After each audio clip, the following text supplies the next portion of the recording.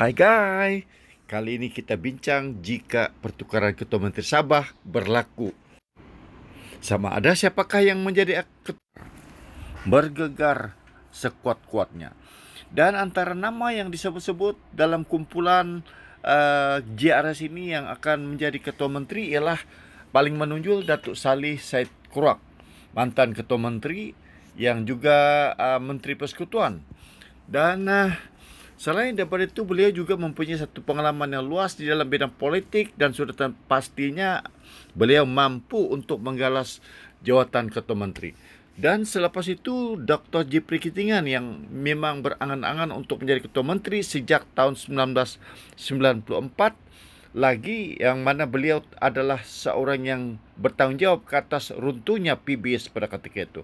Dan Datuk Dr uh, Angkuli. Uh, ini seorang yang berkelebar dalam PBS. Beliau adalah Presiden PBS yang menyambung legasi politik perjuangan rakyat daripada Datuk Joseph Pairing Ketingan sejak tahun 1985 lagi.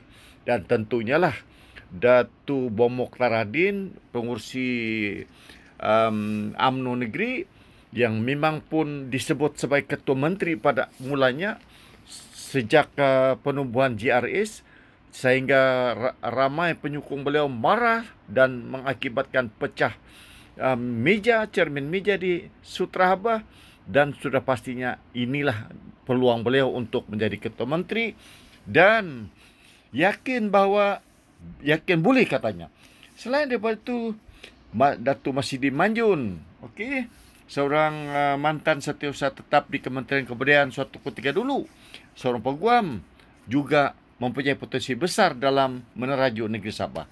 Dan gandingan-gandingan gandingan mereka juga telah dilihat seperti sudah tersusun tetapi belum dimuktamad. Entah jadi atau tidak, kita tunggulah keputusannya dan kita tengoklah apa kejadiannya.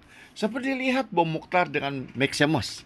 Ah, ini menjadi satu teka-teki politik sementara Datu Salih pula akan bergandingan dengan Dr. Maximus. Kita lihat dan kita tunggu cerita selanjutnya.